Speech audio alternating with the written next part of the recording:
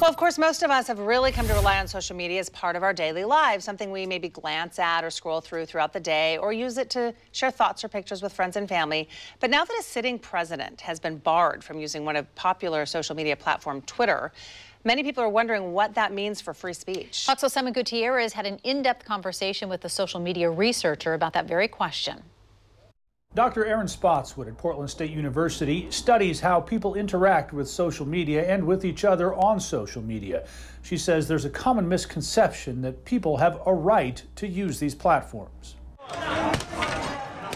If you could, uh, give me some kind of an idea uh, what we're looking at here in terms of uh, some of these social media platforms, what rights people actually have to use them? Well, they have the rights that they agree to when they sign up for these services. So when they use these platforms in ways that violate uh, the terms of service that they agree to, the platform has every right to ban said user from using their platform and to um, communicate with other users via that platform. Where exactly does freedom of speech enter here? Uh, these aren't public utilities, but in some ways people are treating them as if they are. And I think that's inappropriate. Uh, these companies have the right to decide what it is. It's in fact, it's the First Amendment that gives them the uh, private companies the right to moderate their platforms as they see fit. Should there be a discussion about potentially uh, regulating these companies somehow in such a way that they are viewed more as a utility than they are private companies. I think recent events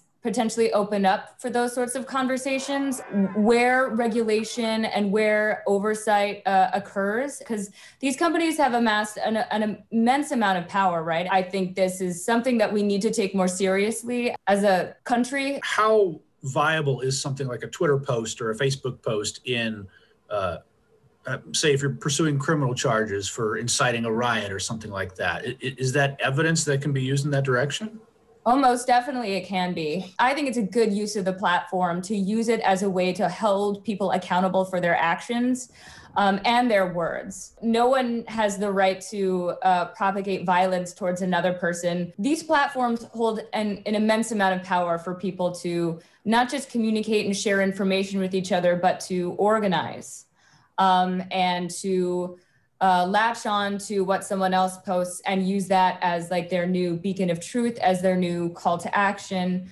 Um, and that can be incredibly dangerous. Dr. Spotswood says the other thing to consider, the other side of this, is how valuable some of these platforms are in bringing people together and establishing a sense of community. She says that's been especially important during this pandemic. I'm Simon Gutierrez, Fox 12 Oregon.